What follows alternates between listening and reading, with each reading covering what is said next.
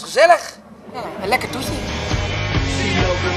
Maar ja, Brabantse mensen staan er toch voor in om gewoon een feestje te kunnen bouwen. Dus ik heb er wel zin in. Dat is het nooit. Ik bedoel, muziek is voor, voor iedereen. Als je nou van hazes houdt of van weet ik veel wat, van rock.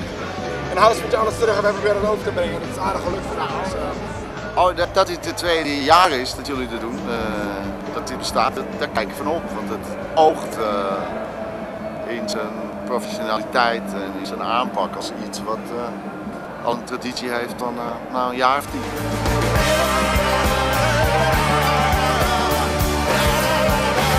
Nou, we komen aanrijden en kijk nou zo'n groot, zo'n hele enorm grote uh, spandoek of uh, zeg je dat? Nee, uh, affiche. Nou, poster, ja. Zo'n ja, grote ja, poster. Ja. Oh godverdomme, ja, ja. Ja, ik kan. Nee, het was leuk, echt. de mensen gingen ervoor en wij ook. Dus al met al een geslaagd feest. Ja, nou, en dat is helemaal alles. Ik bedoel, vier tenten.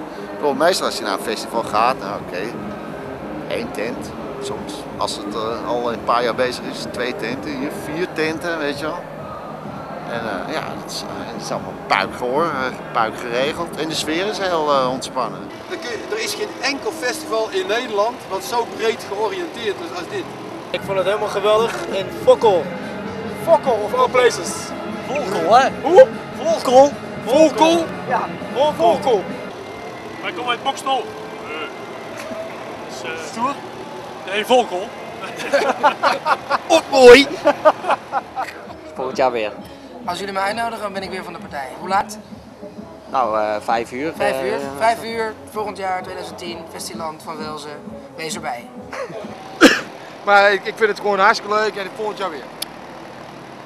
Tot volgend jaar in de Volkel.